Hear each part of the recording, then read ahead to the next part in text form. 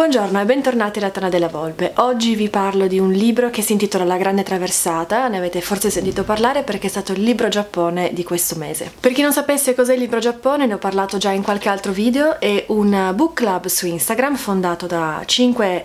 eh, bravissime fanciulle di cui vi metto tutti i contatti nella descrizione e che funziona come qualunque book club, quindi loro scelgono un testo e poi eh, danno una settimana di tempo su Instagram per parlarne e per commentare quanto letto. La settimana è finita il 18, quindi sono un po' fuori dai tempi, però abbiamo avuto un incontro molto bello in live il 17, quindi sabato scorso, e quindi vorrei parlarne per dare un po' un'idea di quello che è venuto fuori da questa chiacchierata. Allora, la Grande Traversata è un testo di Miura Shion edito da Edinaudi. È un romanzo che si incentra su una missione enorme, cioè quella di redigere un dizionario della lingua giapponese. Direi che tutto il racconto ruota attorno a questa immensa um, impresa a partire da, dall'inizio in cui il primo personaggio a cui siamo introdotti, che è Araki, un, un uomo che sta per andare in pensione, deve, quindi, deve scegliere un suo successore e quindi inizia la ricerca di un uomo che sia altrettanto dedito alla alla missione di quanto è lui. Il titolo in eh, giapponese è Funeo Amu, non è stato tradotto in maniera letterale perché Amu, come abbiamo visto nell'incontro, ha un doppio significato che è quello di intrecciare ma anche quello di compilare, quindi diventa, diventava difficile renderlo in maniera fluida e in maniera affascinante, ma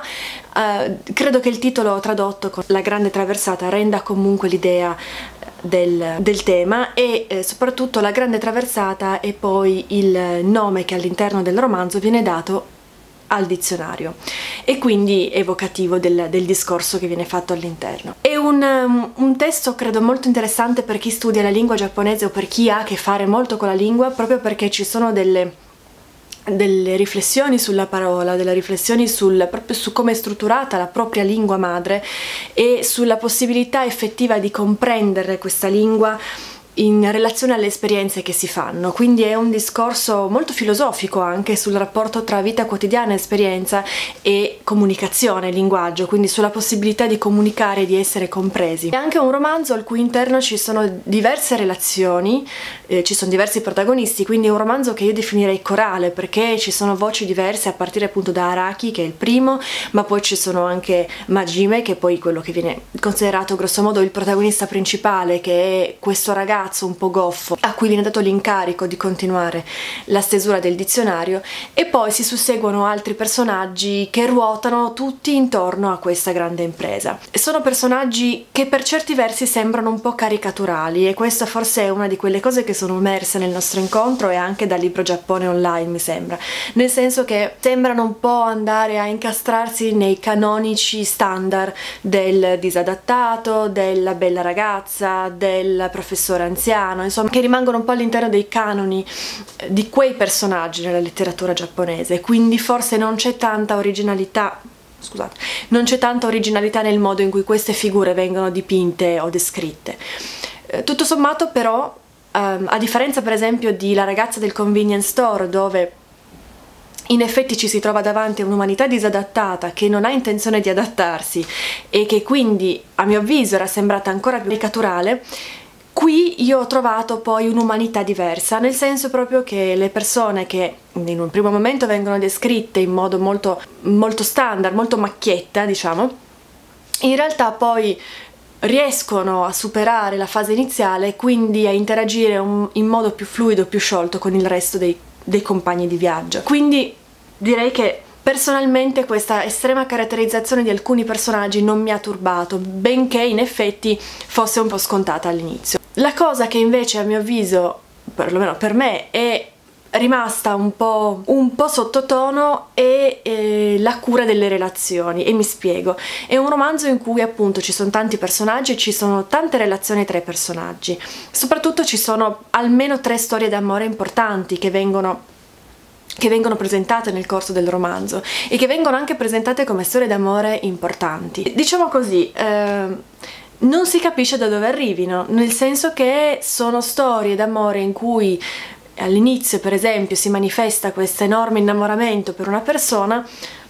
due pagine dopo la situazione è già diversa e non si capisce in che modo si sia risolta. Ed è un meccanismo che viene ripetuto in tutto il libro è un libro che tra l'altro copre dieci anni di esperienze, dieci anni di vita, quindi è un libro in cui in realtà le evoluzioni individuali, le evoluzioni tra, tra personaggi, quindi le, relaz- le, le relazioni interpersonali sono importanti.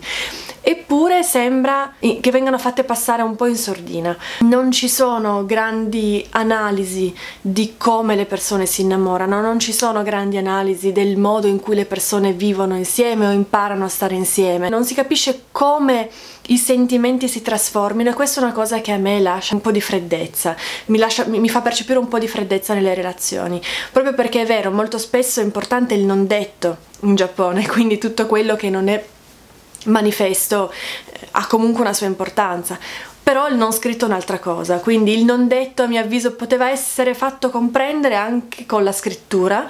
ma giustamente, come mi hanno fatto notare, non era un romanzo d'amore, era un romanzo di amore per la lingua giapponese, quindi un romanzo che voleva indicare una storia diversa. Si trattava quindi di un, um, una concentrazione su altro, il focus era il dizionario, quindi la lingua giapponese e quindi la riuscita in un'impresa che solo pochi uomini possono, poche donne possono completare nella vita. È anche interessante perché ogni tanto in modo molto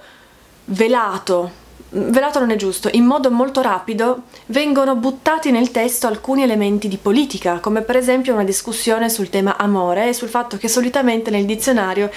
amore viene indicato come quel sentimento che nasce tra un uomo e una donna oppure tra un uomo e ehm, tra un essere umano e un essere umano del sesso opposto. Ed è interessante perché qua, due o tre volte nel corso del romanzo, entra la polemica da parte di alcuni personaggi che dicono no, però l'amore in realtà può essere anche qualcosa che coinvolge due persone dello stesso sesso, così come più avanti ci sono delle discussioni sul potere politico delle parole e sulla difficoltà che un dizionario della lingua può avere nella diffusione e quindi nella promozione del, del, lavoro. Quindi ci sono delle riflessioni che eh, sfociano anche un po' più sul politico, anche se di nuovo sono solo accennate, tra virgolette, quindi non vengono approfondite. Perché di nuovo è evidente, emerge come protagonista più importante, forse unico, il dizionario, quindi la stesura delle parole, quindi l'attenzione a tutto quello che comporta lavorare un dizionario. Gli esempi, le revisioni, la carta, è, è molto accurato sotto questo aspetto, quindi credo molto interessante anche per chi magari della lingua giapponese non si interessa più di tanto. Di massima a me è piaciuto molto, è un testo che mi ha mm, incuriosito per tante cose, che, che, mi ha portato a fare delle riflessioni interessanti sulla lingua e quindi sulla comprensione della lingua anche attraverso l'esperienza. Ci sono dei personaggi che io ho amato molto all'interno come Nishioka, che è uno dei comprimari, diciamo così, che rivela poi un aspetto molto affettuoso nei confronti del protagonista e ehm, in realtà ho trovato molto originale la scelta di concentrare un intero romanzo proprio su qualcosa che non è decisamente glamour, cioè non stiamo parlando di Murakami, voglio dire, come tematiche. È una tematica molto più difficile, una tematica forse quasi di nicchia, quella del dizionario, però raccontata in questi termini vale la pena come lettura. Allora io non mi prolungo oltre perché sono già andata un sacco veloce, ho parlato tantissimo e spero però che questo libro possa incuriosirvi perché la scrittura è molto bella nel senso che è molto veloce, non ha particolari difficoltà come invece avevo incontrato in Frotte di pesci rossi. È una scrittura piacevole che quindi merita l'assaggio. Prima di salutarvi, le solite menate, le solite pratiche, pollice su, iscrivetevi al canale così avete idea di quello che succede nella Trana della Volpe. Vorrei parlarvi in futuro di altri due libri, uno chiaramente Murakami perché è uscito il secondo libro e quindi siamo tutti in attesa di incontrare Antonietta Pastore e di sentire che cosa ne pensa. E quindi vorrei poi fare un feedback di quello che ci siamo detti. E l'altro invece è nel cuore di Yamato di Aki Shimazaki che ho iniziato una settimana fa, ho finito ieri sera in lacrime e quindi ecco questo invece è un libro in cui le relazioni umane sono il centro del racconto e quindi vorrei condividerlo con voi. Per ora vi ringrazio e spero di vedervi presto, buona giornata!